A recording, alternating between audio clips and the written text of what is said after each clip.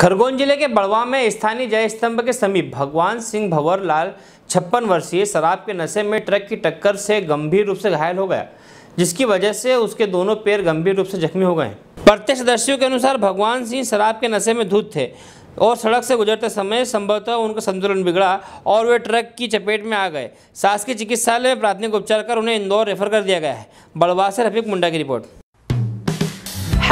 Friends आप देख रहे हैं हमारा channel S W twenty four news हमारे सारे वीडियो सबसे पहले देखने के लिए आप हमारे चैनल को सब्सक्राइब करें और पास में लगे बेल आइकन को दबाना बिल्कुल भी ना भूलें।